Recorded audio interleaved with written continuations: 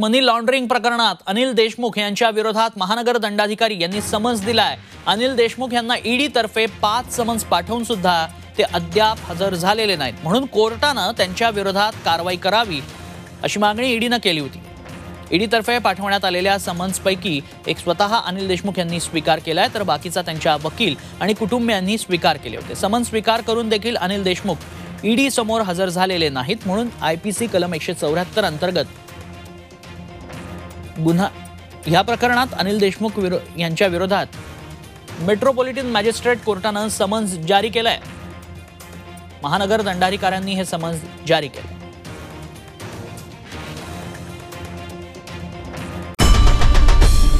आई भवानीचा गजर. म्हणजे झी चोवीस तास